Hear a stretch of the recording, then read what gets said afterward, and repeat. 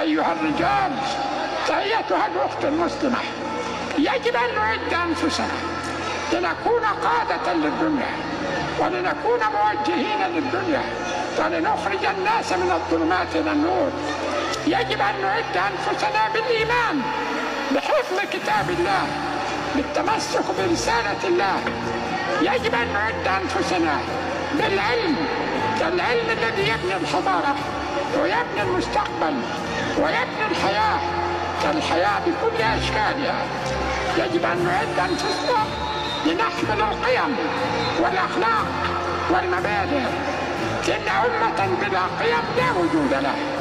لذلك هذا الجيل اليوم هو جيل الإيمان وجيل العلم وجيل الأخلاق. وبه سينتصر شعبنا إن شاء الله. وبه سيتم تحرير فلسطين.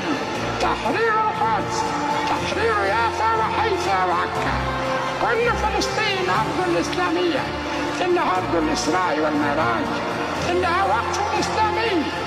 لا يملك جيل ولا ملك ولا رئيس أن يتنازل عنها. فهي لأجيال المسلمين إلى يوم القيامة والمعركة مستمرة. والصراع مستمر